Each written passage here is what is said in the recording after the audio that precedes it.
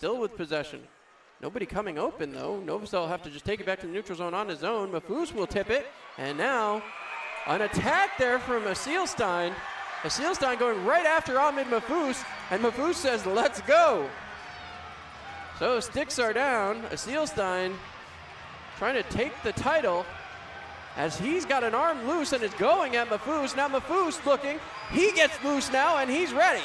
Now Mahfouz trying to duck the haymaker from Asilstein. Asilstein taken down there by Ahmed Mahfouz. And Asilstein is down. He is now trying very quickly to get away from Ahmed Mahfouz, and he's barking at him. Mahfouz did not take kindly to Asilstein attacking him. And like I said, George, we have not seen a lot of this No. here this couple of games. No, and again, it's usually Mahfouz that we see it from, and good to see him get back in the action. As we'll see what happens here.